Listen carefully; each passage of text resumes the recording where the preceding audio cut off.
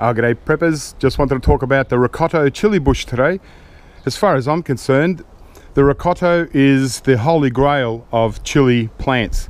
Um, if you like your chilies and you like them reasonably hot but not crazy hot, the Rocoto I find is the, the perfect chili for general all-round cooking and uh, being a perennial plant uh, this bush here that you see has um, has been here for about six years maybe seven years. And uh, I've constantly hacked it down pruned it right back. But as you can see it's uh, it's not just a, uh, a rocoto chili tree. It's it's the rocoto is actually like a sprawling plant. If uh, you just let it sprawl along the ground it will cover 20 30 feet and um, it'll just keep going and uh, quite amazing. So the the actual plant is the center of the plant is right there but uh, because I'm pruning over that side the majority of overgrowth is all leaning over to this side. So but uh, yeah I, think rocoto chilies are great. I've been picking a whole bunch recently just for um, making a chili sauce. But uh, as you can see here is uh, clusters of rocoto chilies. Um, these are the nice rounded type, more of the bell uh, shape rather than the the elongated rocoto. I find these are the um, when I first got this plant it was uh, from a grower interstate and uh, I got the plant shipped over to me and since then I've been propagating rocoto chili plants uh, to give away to people. But as you can see they're, they're just everywhere and uh, you know they very much look like you know mini apples as you as the um, Spanish name suggests. So the main thing I, I really like about the rocoto chili is that it's I've got chilies almost all year round. It's a very cold hardy chili plant. It loves a little bit of sunshine, but it also loves a little bit of cold weather. And uh, it's just an endless supply of chilies. In fact, there is uh, times of the year when it's just going to be just way too many. Like you can see all the, the nice purple flowers here. So they're all going to be chilies and uh, and uh, it's uh, like a 100% strike rate as far as pollination is concerned so they're certainly going to be there and so it goes in batches. Like I, I showed you these ones uh, these are all ready to go. I can I can pick all this and make myself a batch of chili sauce. Here's a, the fresh batch that will come up in a uh, another month's time or so. And it's just a, a constant flow of uh, chilies. And uh, I don't eat a whole heap of chilies but uh, when I want chilies I, I you know I just enjoy having a chili bush out the back where I can just come and pick um, chilies anytime I need or you know and especially uh, with friends if they want a bag of chilies I always send them away with a bag of chilies. But uh, so what I'm doing today is it's we're in February and uh, it's the last month of summer. So what I'm going to do is uh, I'm just going to take a few, I've picked a few uh, rocoto chilies and I'm going to re-sow the seeds and so all I do there's a lot of people will, will tell you that the best way to grow rocoto chili is with bottom heat and so on but um, I'm just uh, this is how I do it. I just pick my seeds I put three rows of seeds in.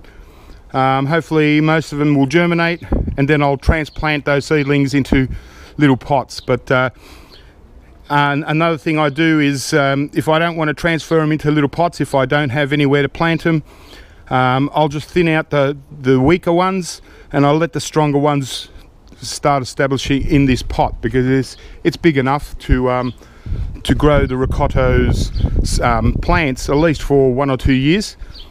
But uh, preferably uh, come spring in about six months time I'd like to remove a couple and put them out the front so I've got myself a couple of nice specimens of rocoto chili really nice big ones here um, very beautiful I've picked them, you know, a little bit before they have a chance to, you know, start softening up. This is about perfect uh, ripeness for eating right now. So I'll take a few seeds out of each one and we'll uh, line up our little seed tray. Okay, so here we go. I've cut open one. You can see the nice little good sized black seeds in there. And so I'll take a few of these out.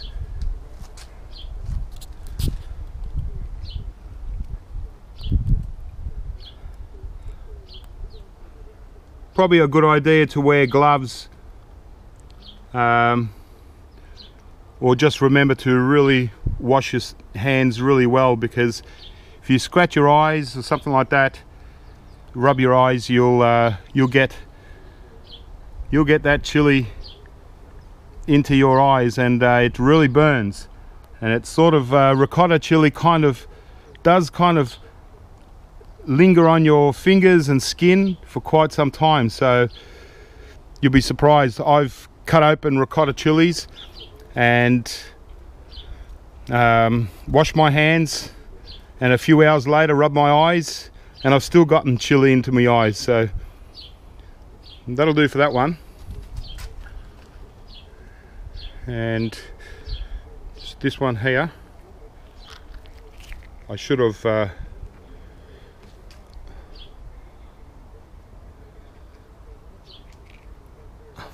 Should have got my little tripod or something, but we're getting there. Bit rough, but it doesn't matter because at the end of the day, we get a pretty good strike rate. So I'll just cover with some more seed raising mix. So I like, I prefer to use seed raising mix um, rather than just dirt because you know the dirt can have contaminants and stuff and so but usually I three quarters of the pot I fill it up with regular soil or compost whatever you like and then just uh, top it off with seed raising mix on top. And of course when we're done growing these seedlings you know you can throw this whole mix into one of your veggie beds. Just add a little bit more fine soil to your bed all right well that's it. And uh, I'll give it a light water. And and what I'll do is I'll get some clear plastic film and I'll cover the top with it. And that way we've got ourselves a little bit of incubation heat under the plastic there and until uh, we got some seedlings sprouted and then we can let it out into the open air. But uh, yeah so I'll just um, I'll leave this in the sun while it's daytime and then I'll probably put it under cover with the plastic over the top. And uh, we'll see how we go in a couple of weeks. Okay, here we are two weeks later, exactly 14 days, and time to remove the cover off the seeds. And there we go, we've got uh, a nice little batch of rocoto chilies. Now you might be able to see that there are some of them are, are quite leggy and that's because I probably uh, should have taken off the cover and put it out in the sunshine probably a couple of days ago but I forgot all about them and uh, luckily I remember today so hopefully they won't get too leggy before you know or hopefully the sun will um, you know make them grow nice now. But uh, yeah so as I said before the uh, rocoto chilies uh, a lot of people make a, a, big fuss about them when they're trying to grow them from seed some find them very hard um, to grow. Um, you know uh, most people will say to use bottom heat well you know just depending on where you are if you're in a cold area um, then uh, yeah but I suggest growing them you know sometime at the end towards the end of summer so it's not too hot but it's still warm and uh, yeah um, so there we go we got a pretty good strike rate actually. You know, I'd say uh, close to 90% strike rate at least. Who knows, maybe even 100. But uh, about four days ago, I noticed one come up, and I, I thought that might be the only one. It might have been a bad batch, but uh, then all of a sudden, these just noticed these today. So there you go.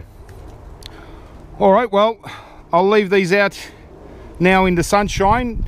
Might give them a, a little bit of a liquid feed just to give them a bit of a boost because the the um, seed raising mix is actually doesn't really have any nutrients in it so until the roots actually get down into the soil where there might be some some uh, nice nutrients. I'll yeah just give it a bit of a liquid feed and maybe uh, see if we can strengthen up the roots. And then we'll just uh, let them grow up a bit and go to the next stage. About three weeks into it and uh, as you can see the the plants have really bushied up. The stems are starting to get a nice the nice purple color to them and uh, yeah much better than when they started off. They were very leggy. So yeah I um I actually thinned out quite a lot of them. And uh, I did lose most of one row through some kind of insect sort of you know they they chopped the stems in half. Um, but uh, yeah I've, I've, still got more than I'm going to need. So I'm probably just going to select the best ones and uh, and I'll probably just thin out a, thin it out a little bit more. Well my rocoto chilies are, are you know have done really really well. Unfortunately I left them on the ground and the chickens got out. And so they ate pretty much all the leaves they could get to. They ate this one completely. But even though it's as you can see there's new growth spurts. So these rocoto are very hearty um, plants so even if they get eaten up they're still they're still going so yeah so since they've been eaten up and they're doing okay still I'm just going to leave them now until I plant it out in spring I might as well just leave them in in the pot over winter because it's really not going to do, you know, much difference in the ground anyway. Uh, okay, well, I, I keep ending up putting it on the ground and the chickens keep eating my leaves. So I'm going to take one that I'm pretty happy with the structure and I'm just going to go and plant this out. I've got, you know, probably a few too many, um, but that's how I like to do it. If I had more space, I'd I'd put more chilies, but um, I gave away three, so that's all I can give away at the moment because uh, most of my friends have already um, stocked up on chilies. And so yeah. So I'm just going to plant this one in. And because I really there's my chickens standing at the front minding their own business.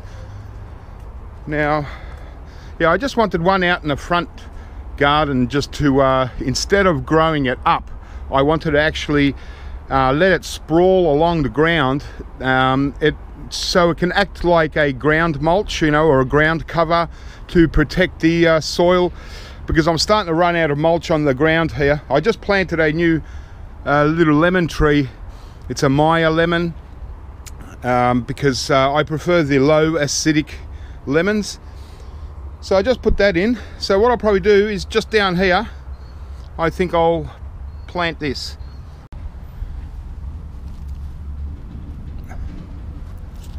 There we go. So that'll be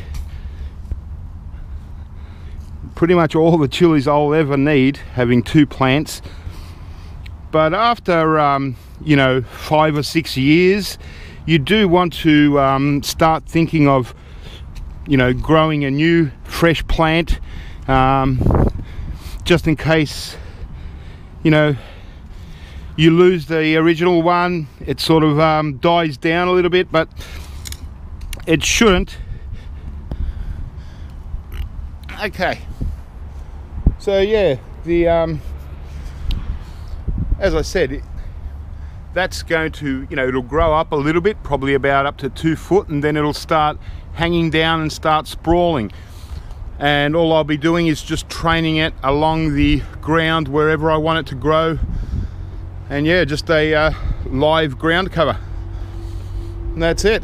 So I'm looking forward to this lemon tree producing my old one which is about almost 50 years old. Um, just got uh, badly infected with disease and it was just too old. So time for a new one. This is actually a dwarf Meyer lemon on a dwarf rootstock. But yeah, so that's the rocoto. Highly recommend growing rocoto chilies if you uh, enjoy eating chilies.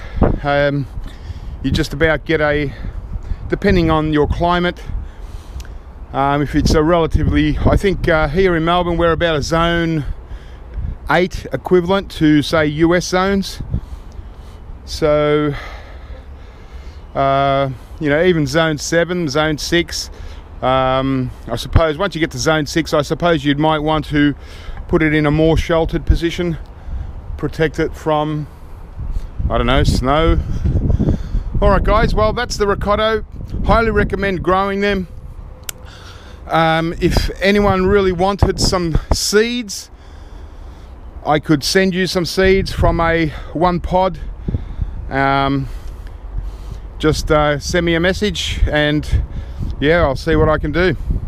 Especially if you're living in Australia, I can certainly supply you with seeds nice and easily, very quickly. Just uh, you can come down and just pick one up. All right, guys. Well, keep prepping, have fun, and uh, I'll catch you next time.